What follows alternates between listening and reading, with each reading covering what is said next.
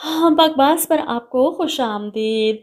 तुम बिन कैसे जिए? ड्रामे की अगली किस्त में आप देखेंगे कि ज़ारा अपने बाप के सामने खुलकर बता देती है कि वो रुखसती चाहती है। ये बात जब वो अदील को फ़ोन पर बताती है तो अदील थोड़ा परेशान होता है। तुम्हें इनसे ऐसा नहीं कहना चाहिए था मैं बात कर लेता खुद ही। अब यहाँ पर इसकी बहन कान लगाकर ये सारी बातें सुनती है, जैसे फ़ोन के अंदर से भी इसको सारी आवाज़ें आ रही हों और हर बात जाकर अपनी माँ को बता देती है कि ज़ारा ने खुद अपने बाप से रुखसती का कहा है। ये सुनकर तो माँ टिपिकल सासों की तरह बढ़ा चढ़ा कर जारा को बद दुआएँ देती हैं। ये तो बहुत तेज तरार निकली। अपने मुँह से अपनी रुखसती की बात कर दी। शर्म ना आई इसे। दोनों माँ बेटी खूब बढ़ा चढ़ा कर प्लानिंगें करती हैं। इस तरह जारा को इस घर में आने से रोकें।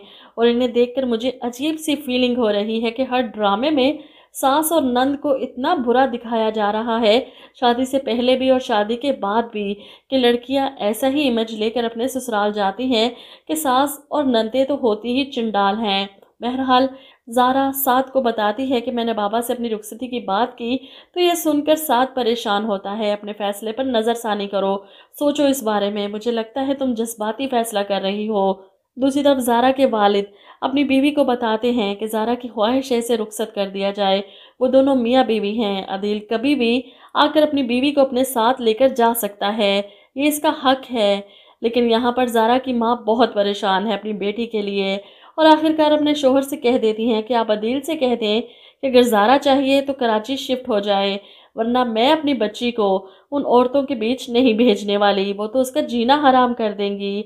यहाँ ज़ारा के वालिद अपनी बेगम को समझाने की कोशिश करते हैं कि ज़ारा के ससुराल वाले हैं। ससुराल वालों से सींग नहीं लड़ाए जाते, मुकाबलेबाजी नहीं होती। अदील जो चाहेगा, जैसा चाहेगा वैसा ही होगा।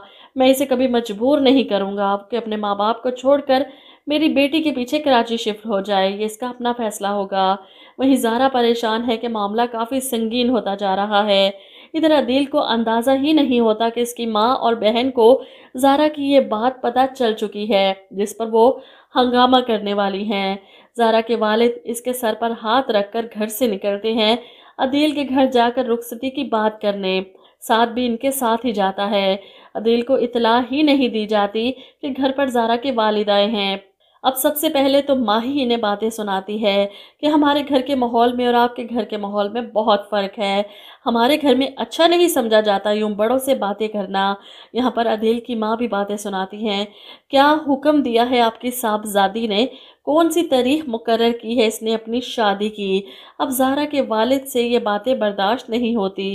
वो चुप करके सुन रहे थे। बेटी के ससुराल का मामला है। वहीं साथ से चुप नहीं रहा जाता। जब लड़के अपनी शादी की बात कर सकते हैं तो लड़की क्यों नहीं कर सकती? यहाँ पर माँ बेटी जारा के वालिद को अच्छा खासा जलील और रसवा करके वापस भेजती हैं। वो बेचारे घर आते हैं, अपनी बेटी के सर पर हाथ रख कर अपने कमरे में चले जाते हैं। यहाँ इनकी बीवी इनसे पूछती हैं, क्या हुई बात? क्या कहा उन लोगों ने? कब आ रहे हैं ज़ारा को रुखसत करने वो? वो क्या बताएँ? कैसा जलील होकर वापस आए हैं? इन माँ बेटी ने तो इन्हें कहीं मुँह दिखाने के लायक नहीं छोड़ा। ऐसी ऐसी बातें की हैं कि वो ये सह नहीं पाते। सबसे पहले दिल पर लेकर बेहोश हो जाते हैं।